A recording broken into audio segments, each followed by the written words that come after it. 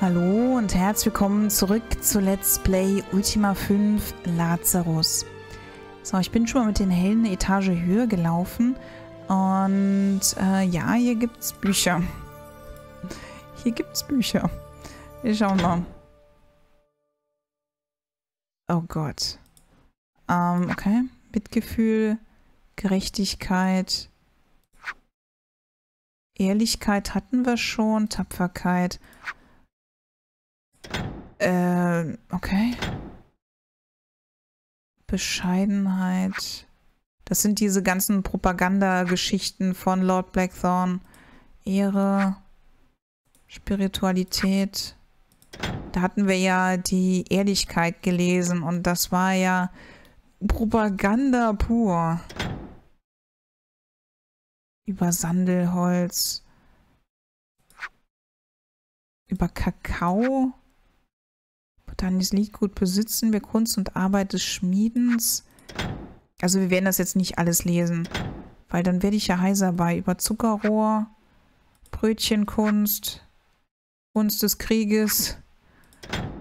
Ich weiß nicht, ob das sinnvoll ist, dass wir das alles einpacken. Botanische Kunst, Band 1, 2 und 3 und 4. Kann man die Bücher wieder zurücklegen? Ja, kann man. Also, das werde ich jetzt nicht alles vorlesen. Wir schauen mal, ob wir noch irgendwelche Titel finden, die für unsere Quest sinnvoll sein könnten. Aber ich gehe mal davon aus, dass es die, die Waffen Britannias, dass es die wirklich wichtigen Dinge unten gab. Grundlagen der Heilkünste, Andreas Anleitung zur Säuglingspflege. Ähm, nein. Schach für Anfänger, angewandte Mathematik für Seeleute, das haben wir schon gelesen. Die Flamme der Wahrheit hatten wir auch gelesen. Anthropologie Britannias, das könnte vielleicht noch was sein.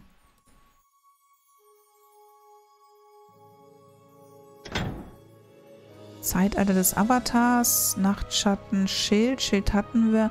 Sagenumwobene Stadt Cray, das klingt noch spannend. Knoblauch, Araune, Vögel, Blutmoos.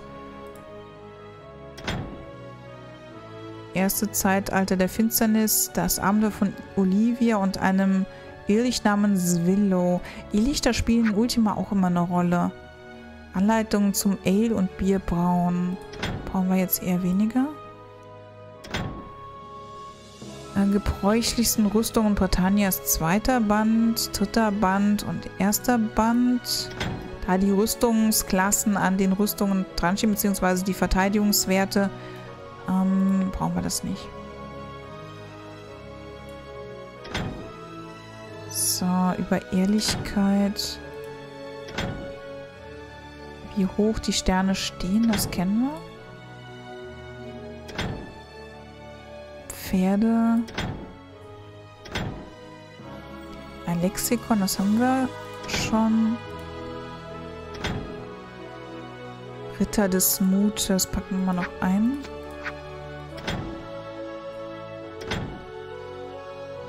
Über zahlströmende Abenteuer, die haben wir schon. So, dann hätten wir da noch über die Ehrlichkeit, was da rumliegt. Äh, nochmal über Ehrlichkeit. Prozess der Wiederbelebung. Das hatten wir auch gelesen. Das war aber das mit den Zombies. Und nicht äh, Wiederbelebung, so wie wir, wie wir das halt dann haben möchten. Ritter des Mutes haben wir gerade eingepackt. Wie hoch die Sterne stehen, haben wir. Pferde. So, gibt es hier irgendwo noch Gesprächspartner? Es muss ja hier auch sowas wie ein Gasthaus geben. Mehl, Leib, Käse.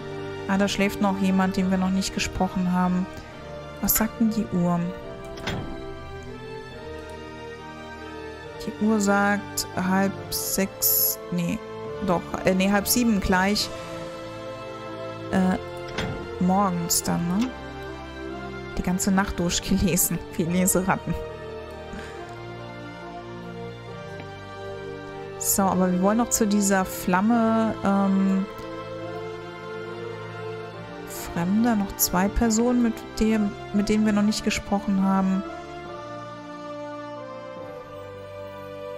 Wer schläft hier? Ah, das sind Lord Chalinette und Lady Janelle. Mit denen haben wir gesprochen. Was habt ihr in eurem Schränkchen? Nichts, was wir haben möchten. Das Verschmelzen von Leben.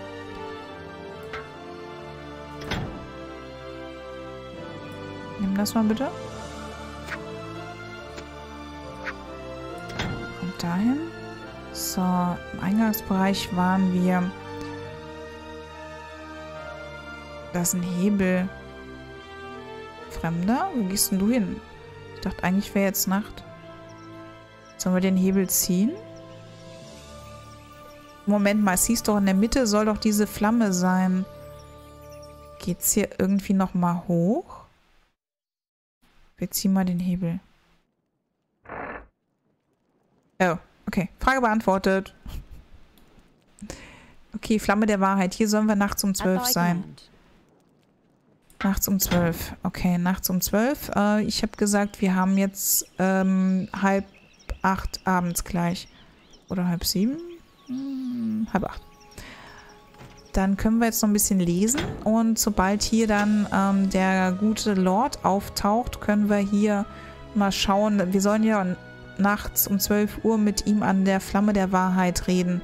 Dann könnte er, oder da könnte die Flamme uns eventuell ähm, den wahren Namen von dem Schattenfürst der Feigheit, glaube ich, sagen. Wir werden es erfahren. So, solange schauen wir nochmal in unsere Bücher rein. Schmelzen von Leben, Ritter des Mutes, Olivia und die Irrlichter, sagenumwobene Stadt Cray. Fangen mit der Anthropologie Britannias an.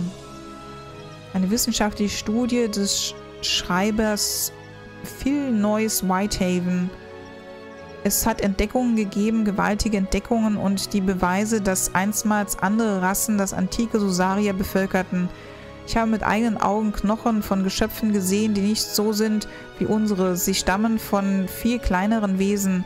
Ich habe auch Knochen von Geschöpfen gesammelt, die weder uns ähnlich noch irgendwelchen anderen Lebewesen im heutigen Britannia.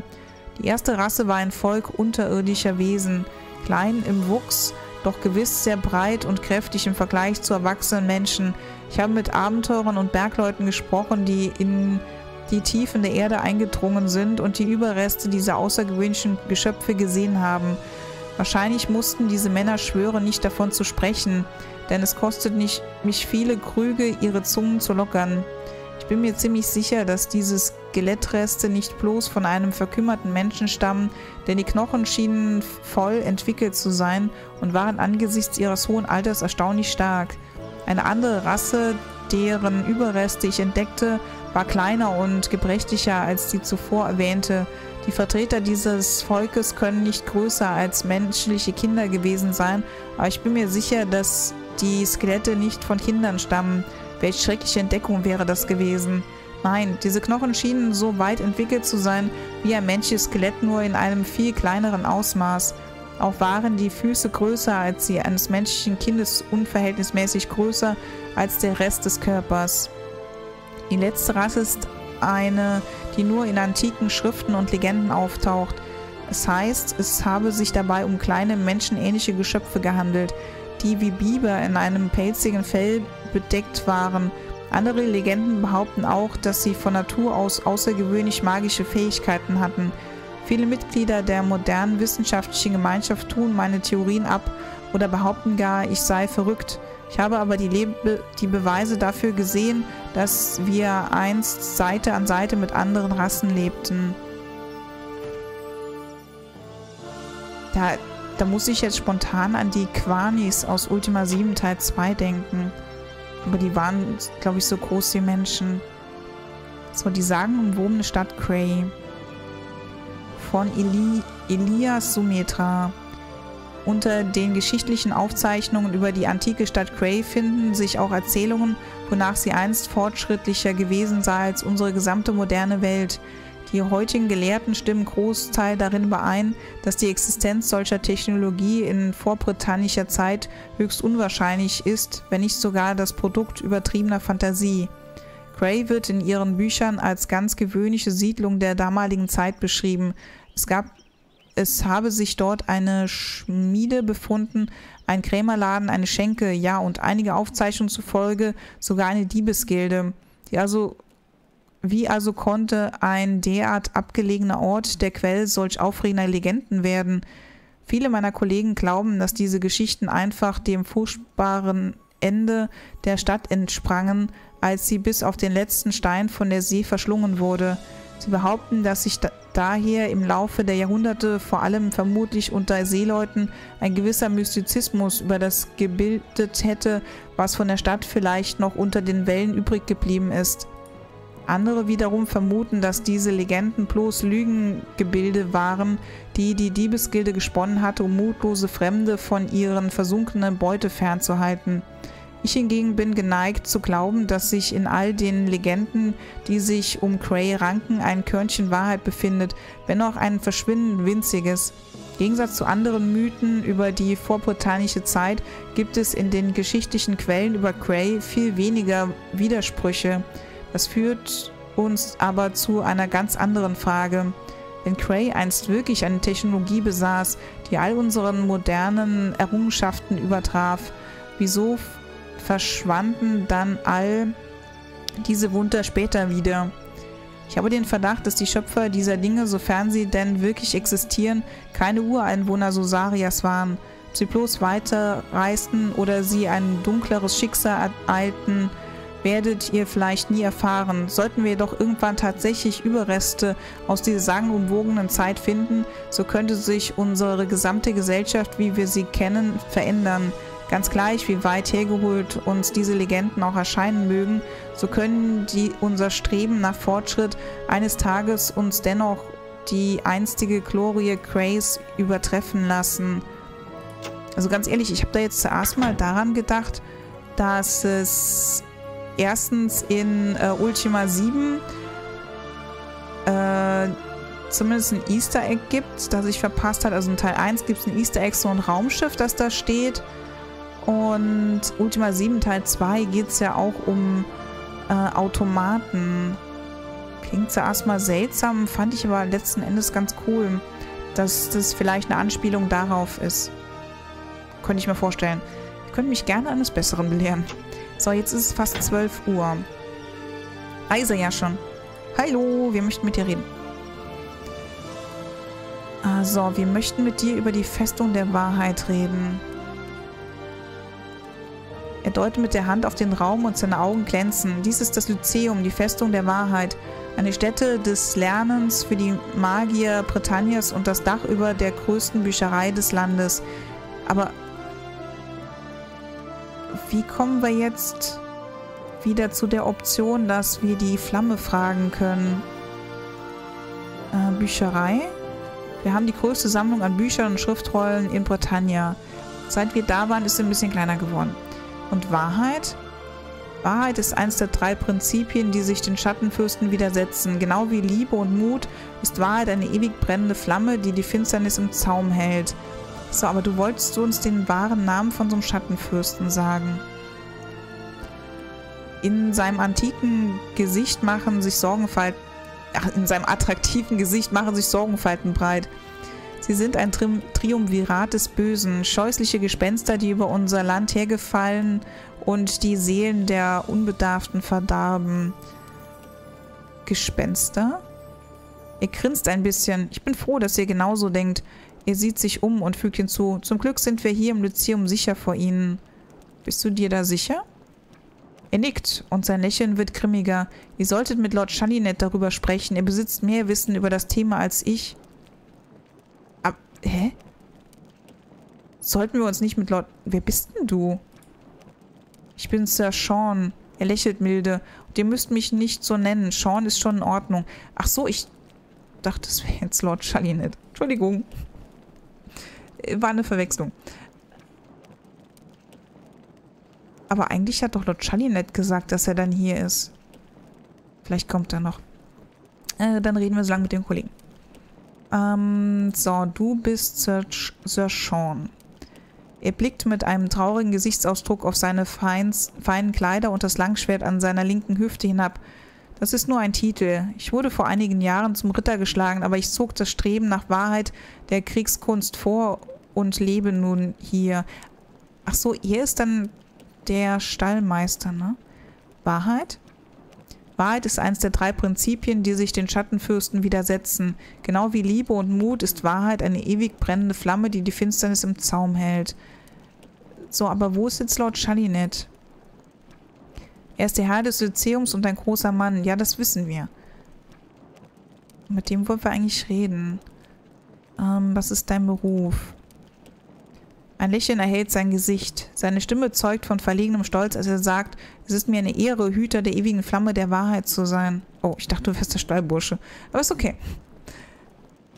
Aber wie kriegen wir ihn jetzt dazu? Scheußliche Gespenster hatten wir? Sicher, ja. Lord Chalinet hatten wir.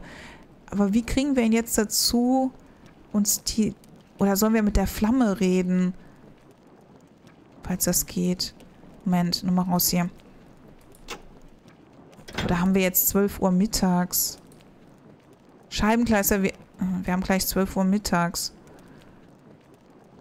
Ah, wir sind ziemlich genau 12 Stunden zu früh. Scheibenkleister. Ja, jetzt ist es auch ziemlich hell draußen. Okay, wir ziehen wieder den Hebel. Sind wir jetzt alle unten oder haben wir jetzt wieder ein Problem? Ich glaube, wir sind alle unten. Okay, dann gehen wir nach unten, denn dort konnten wir, glaube ich, in irgendeinem Bettchen nächtigen. Und... Äh, wo sind wir denn jetzt? Da hinten... Irgendwo war doch, glaube ich, das Kranken... Ne, da unten war das... Moment. Ne, hier war das Krankenzimmer. Da konnten wir, glaube ich, ein Bett benutzen. Da, das können wir benutzen. Schlafen wir nämlich acht Stunden.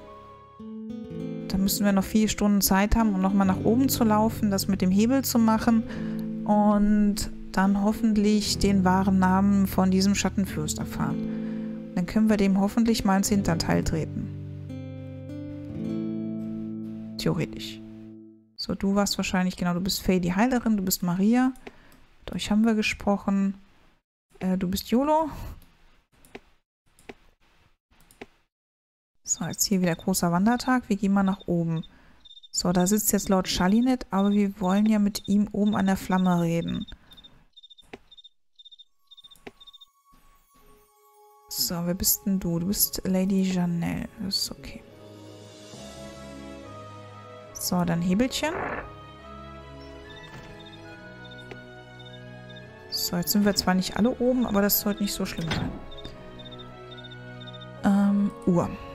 So, Uhr sagt äh, 9 Uhr. Wir drehen mal ein bisschen die Zeit schneller. Oh, wir haben nochmal nur 39 Nahrung.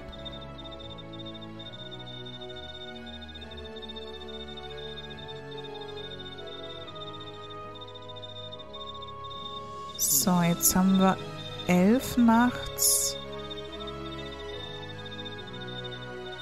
So, jetzt machen wir wieder Normaltempo.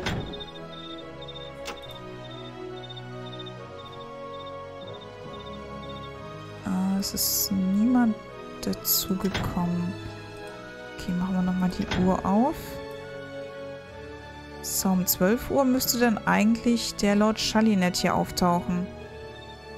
Wenn ich ihn richtig verstanden habe. Oder sollen wir mit der Flamme reden? Nee, das haben wir, die Option haben wir jetzt gerade nicht.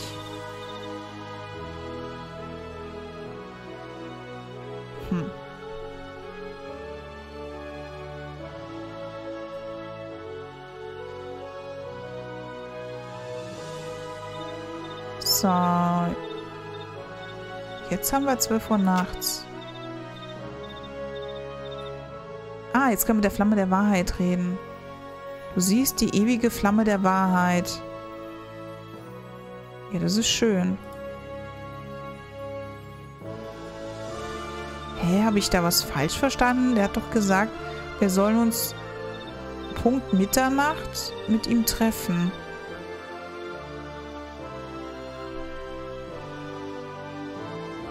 Oder bin ich jetzt schief gewickelt? Wir haben hier Julia, den Avatar und Chamino.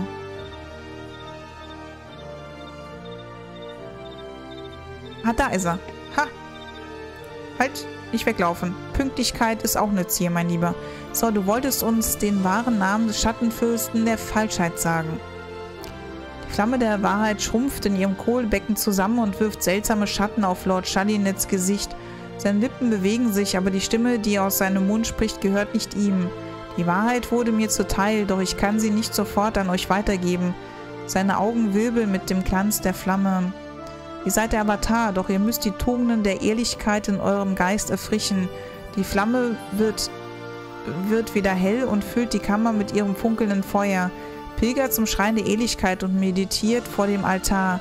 Erfüllt die Queste, die man euch stellt, und kehrt dann zurück. Ihr werdet die Antwort bekommen, die ihr sucht. Äh, naja, ja, nee. Okay. Also wir haben das Mantra der Ehrlichkeit und das Wort der Macht der Ehrlichkeit. Man, das hättest du uns auch früher sagen können. Hm. Okay. So. Schrein der Ehrlichkeit. Ja. Da fängt das Problem an.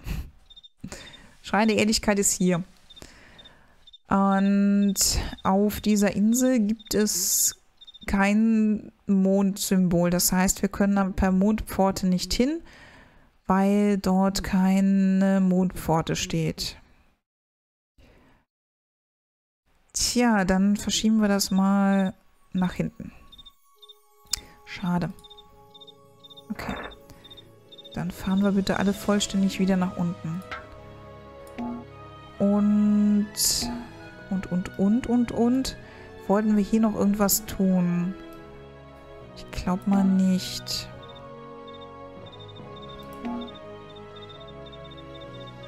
Okay, dann gehen wir jetzt wieder nach draußen. Denn ich würde gern in Moonglow nochmal beim Kräuterhändler nachfragen. Und ich glaube, ich wollte noch mit sonst jemandem reden, wegen Sachen, die wir jetzt erfahren haben. Also wegen der Alraunwurzeln auf jeden Fall, ob wir dort irgendwas machen können. Beziehungsweise haben wir überhaupt Alraunwurzeln selber?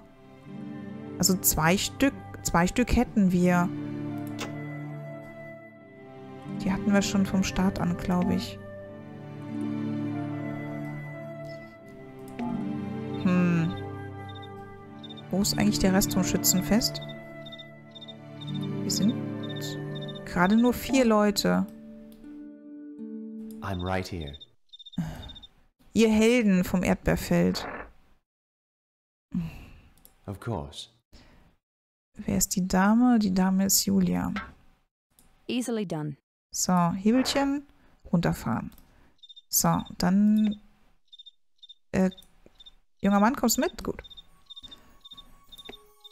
Ach ja. Also, ähm, was wollte ich gerade sagen? Ich weiß schon nicht mehr. Also auf jeden Fall gehen wir nochmal nach Moonglow. Ah, und ich wollte noch schauen, ob wir jetzt, wo wir die Kochbücher haben von dem Herrn Vielfraß, ob wir dann irgendwie den, ähm, den Wild dazu bewegen können, uns auch hier Nahrung zur Verfügung zu stellen. Weil der Lord Stuart, so hieß der ja, der hat uns doch was gesagt von wegen, dass er ja Bücher geschrieben hat, aber aktuell nicht weiß, wo sie sind. Vielleicht können wir ihn jetzt mit den Büchern überzeugen. Was ist das für eine Brücke? Geht die zur anderen Insel mit dem Schrein? Äh, würde das Sinn machen? Ich schaue jetzt nach Süden. Nee, das macht eigentlich keinen Sinn, oder? Ah, es könnte vielleicht eine Brücke zu dem Leuchtturm da sein. Äh, weil, ja, wir sind südlich vom Lyzeum. Wir schauen nach Süden. Vielleicht gibt es auch im Norden eine Brücke zu der anderen Insel. Obwohl, es ist ein gutes Stück weiter. Mm, okay, ähm, müssen wir im Hinterkopf behalten. Dann stiefeln wir jetzt mal da kurz rüber. Schauen wir, ob wir dort einen Leuchtturm finden. Was ist das für ein Gebilde?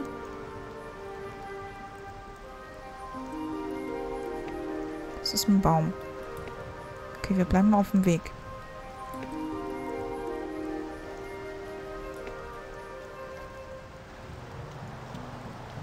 Ich habe keine Ahnung, wo wir gerade sind. Wir sind nicht wirklich auf einer Insel, oder? Kann auch sein, dass wir weiterhin auf dem Festland sind. Ah, wir laufen mal. So ein Sextant ist echt kein Luxus. Aber den hat man ja hier noch nicht erfunden. Nee, wir sind auf dem Festland. Ja, wir sind auf dem Festland. Okay, dann gehen wir bitte zu dem Haus da. Ah, das müsste dann das von äh, der Holzfällerin und ihrem Mann sein. Also dem Papiermühlenbesitzer. Genau. Dann sind wir Richtung Moonglow unterwegs und waren doch nicht bei einem Leuchtturm. Schade. Ähm, Orientierung? Da hinten sind Stadtmauern. Dann war doch hier irgendwo eine Brücke. Genau, da war eine Brücke. Easily done. Gehen wir mal darüber.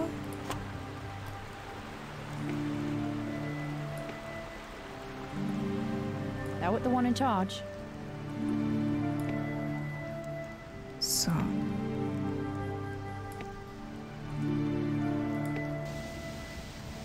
Irgendein Schattenfürst. Gerade zu Hause. That was the one in charge. Nee, die Luft ist rein und wir gehen in die Pause. Bis gleich.